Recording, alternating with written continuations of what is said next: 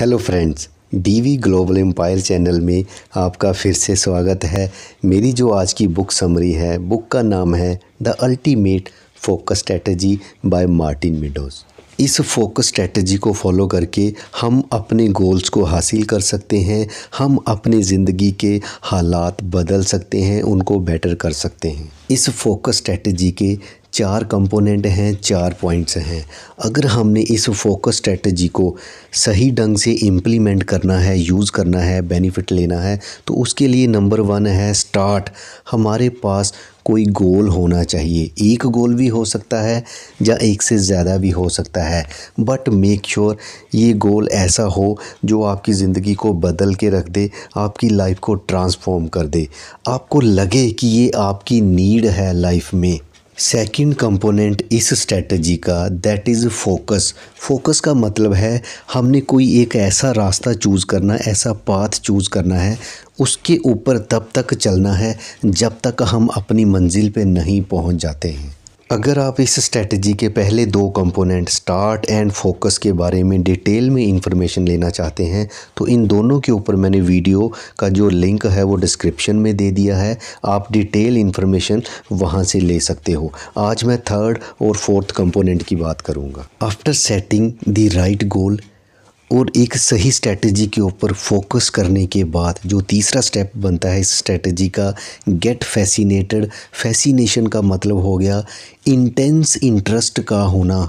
हमारे अंदर बहुत ज़्यादा लगन का होना अपने गोल को हासिल करने के लिए। हमारे अंदर अपने आप को हमने समर्पित करना है उस गोल को हासिल करने के लिए।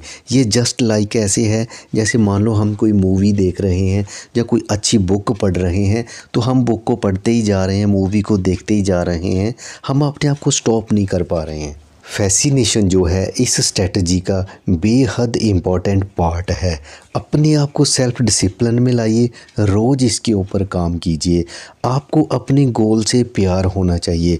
जब आपको प्यार होता है तो आप आगे बढ़ते जाते हो उसको हासिल करने के लिए। आपको हो सकता है कि ये लगता हो कि मैंने गोल भी सेट कर लिया, मैंने एक स्ट्रेटजी को फॉलो करना भी शुरू कर दिया बट फिर भी मेरे जो गोल्स हैं, वो अचीव नहीं हो रहे हैं। तो इसका सिंपल सा रीज़न है कि वो जो प्रोसेस है, जिसको जिसके थ्रू आपने गोल को हासिल करना है, कहीं ना कहीं आपका उस प्रोसेस के प्रति जो है, वो पैशन नहीं है। उसको अपनी लाइफ का डीपली रूटेड पार्ट बनाइए। अब बात आती है कि हम कैसे how to get fascinated with your goal हम कैसे अपने अंदर इंटेंस इंटरेस्ट क्रिएट करें सो so दैट हम अपने गोल को हासिल कर सकें? तो नंबर वन आता है योर थाट्स हम जहाँ भी जाते हैं, हमारे जो थॉट्स विचार होते हैं, वो हमारे साथ ही रहते हैं।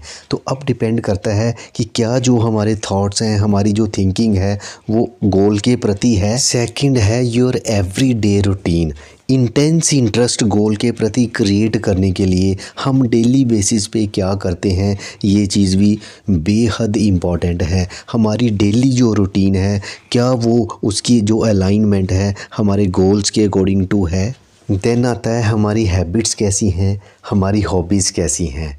क्या हमारी रीडिंग हैबिट है? किस तरह की हैबिट्स और हॉबीज़ हैं? फिर आता है, हम किस तरह के लोगों के साथ उठते हैं, बैठते हैं? हमारी सराउंडिंग कैसी है? फोर्थ कंपोनेंट जो इस स्ट्रेटजी का है that is stick to it. यही कंपोनेंट है जो विनर्स को लूज़र से अलग बनाता है। विनर जो होता है ही गो ऑल द वे और जो लूज़र होता है, वो रास्ते में ही छोड़ देता है। कई बार तो वो फिनिश लाइन को टच करने वाला होता है जस्ट उसको टच करने से पहले छोड़ देता है। बट आपको अपने अंदर एक डिटर्मिनेशन पैदा करनी होगी। लंबे समय तक अपने गोल के ऊपर वर्क करना होगा। चाहे आपको unexpected conditions discouragement adversity hurdles challenges आएँगे, उसके बावजूद भी आपने लंबे समय तक स्टिक टू इट रहना है। अपने अंदर पेशेंस को पैदा कीजिए and remember ups and downs जो हैं वो एक सक्सेस जर्नी का पार्ट होते हैं, उनसे घबराना नहीं है।